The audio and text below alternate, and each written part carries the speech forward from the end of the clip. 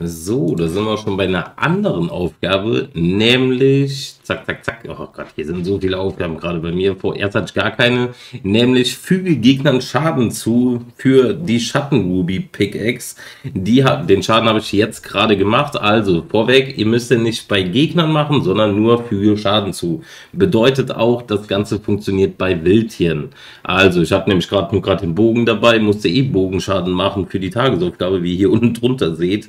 Und dadurch habe ich die Aufgabe nämlich auch schon erledigt. Dann bin ich auch gerade noch quasi am Überleben, damit ich quasi die 500 Überlebenden habe, um den Skin komplett freizuschalten. Aber ich gehe gerade hier raus, auch wenn ich die Runde gewinnen könnte. Ja, aber ich will euch natürlich zeigen, wie die Pickaxe aussieht.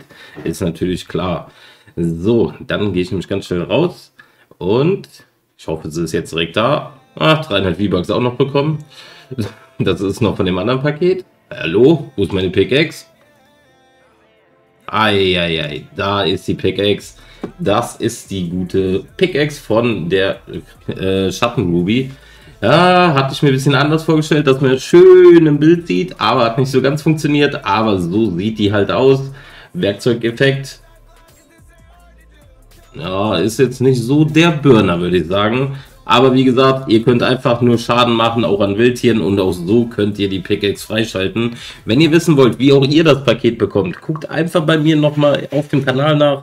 Da habe ich eben ein Video hochgeladen, wie auch ihr, egal ob Switch, Handy, äh, was haben wir noch? Xbox, Playstation, egal was. Ihr könnt auf jeden Fall den Skin bzw. das Paket auch erhalten. Guckt einfach euch das Video an und in dem Sinne würde ich sagen, haut rein.